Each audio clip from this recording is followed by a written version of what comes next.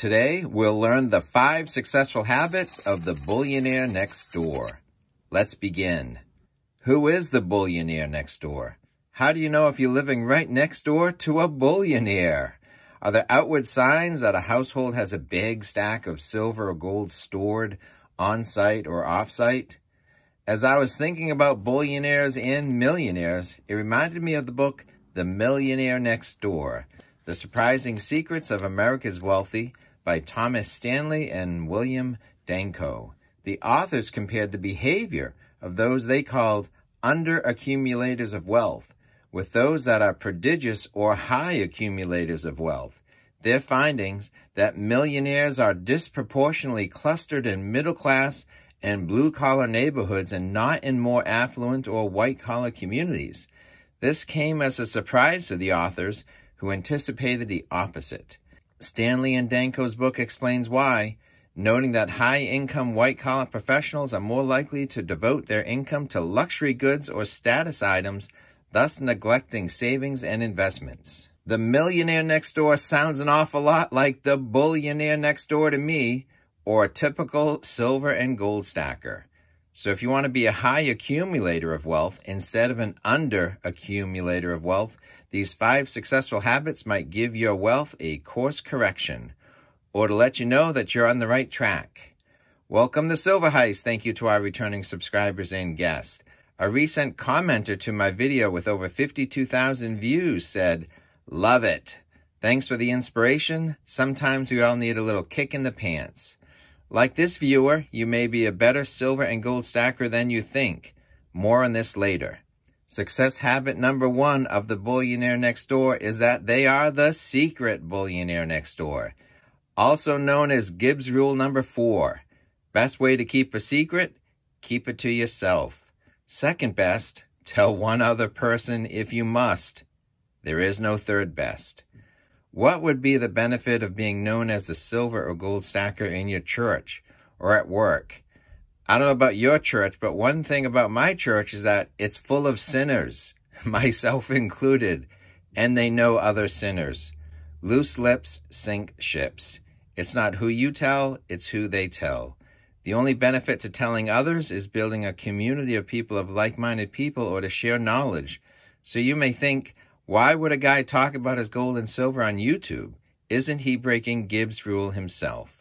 I do it for the community on YouTube so you don't have to locally. YouTube may be the safest place to talk about metals outside of a local coin store. So the billionaire next door does not talk to his direct neighbors about silver and gold, so you'll never know he lives next to you, but he might have an anonymous YouTube channel. Success habit number two of the billionaire next door, consistent savers.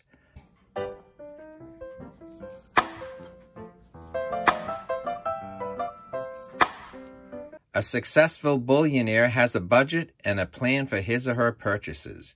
They pay themselves first. They allocate a certain percentage of income or allocate a significant amount of any windfall incomes or bonuses or found money to buying items for their stack, be it gold or silver. They have a plan and they stick to the plan. It's far better to get an empty silver eagle tube and add to it consistently or to consistently buy a full tube of silver eagles than to be caught up in the news of the day or the up and down swings of the spot price or the deal of the day or to be caught up in any competition about what the other guy is buying or how fast the other guy is buying. Everyone's budget and family circumstances are different, but nothing succeeds like consistency. Steady accumulation of ounces leads to more ounces than you could ever realize. After a year or two or three of consistent effort, the billionaire knows that regardless of price movement, if you are consistently adding ounces, ounce movement is up. Success habit number three of the billionaire next door, frugal. A frugal spender buys only what they need, not to impress other people. Maybe a frugal spender provides for his family by burning firewood instead of turning up the thermostat. Or maybe he cuts the wood himself or uses an axe to split wood instead of a hydraulic splitter. Maybe a frugal household eats as well or better than a big spending household because they raise backyard chickens or go fishing or grow vegetables. If you can keep your overhead low, then there's more of your income available for storing wealth. What good is high income if it means high expenses? And expenses that are just to keep up with the Joneses. In today's tough economy, really high earners might be living Rolex to Rolex. Maybe Rolexes hold their value, maybe they don't, but there's a lot of high earning spending that absolutely does not hold its value and wears out. Today's style goes out of style. Then there's designed obsolescence. The bullionaire knows that gold and silver do not have designed obsolescence. Coins and bars don't wear out, and bullion does not go out of style. Success habit number four of the bullionaire next door, reasonable car. From 2020 to now, the car business has been turned upside down with vehicle inflation out of control for both new cars and trucks and used vehicles too.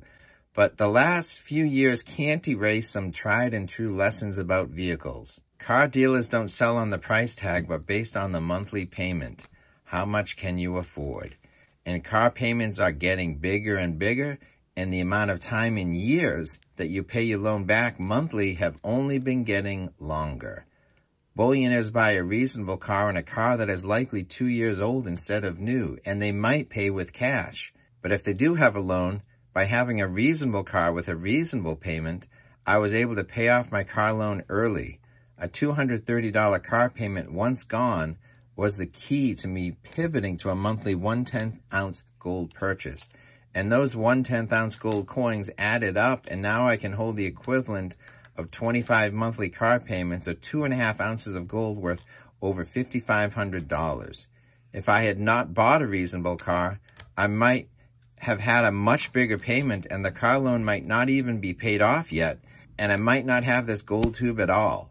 So my reasonable car is bought and paid for, it's got low miles, still runs, and I've got a tube of gold. Imagine how much gold and silver billionaires have because they have bought reasonable cars. Do you want to show off your debt in your driveway or do you want to store your wealth discreetly in your gold and silver stack? We have another success habit of the billionaire Next Door coming up next, right after a word from our sponsor. I'm excited that APMEX is an ongoing sponsor of my YouTube channel. I do have an affiliate link where you can buy silver dimes or something like this low mintage bunker bullion Washington Praying at Valley Forge silver round from APMEX at no additional cost than going to APMEX's website directly. You can add a special one-time use coupon code HEIST at the checkout to receive a small discount on your next APMEX order. It helps out the channel when you use the link. It's a win-win. Details in the description below. Success habit number five of the billionaire Next Door is a reasonable home. A reasonable home in a reasonable town or neighborhood helps keep your overhead low. The trouble with being in a high wage earning neighborhood is that too many high wage earners believe in outward demonstrations of their wealth. The home in the neighborhood creates a high overhead that eats up those high wages. Big home means big energy bills, means big property taxes. Have you ever seen a big home with some rooms not even furnished? High overhead leaves less and less money for high levels of wealth accumulation. That is what surprised the authors of The Millionaire Next Door, is that high salaries does not lead to high levels of wealth accumulation. The trouble with too high an income is too much money. The billionaire is more focused on saving what he earns than showing it off. We may not be billionaires yet, but we are gold and silver stackers, you may have found that you're already following some of these five successful habits of the billionaire next door. So congratulations, you're on the right track. If you want to recognize the seven signs that you're a better silver and gold stacker than you think, you're going to want to watch this video next.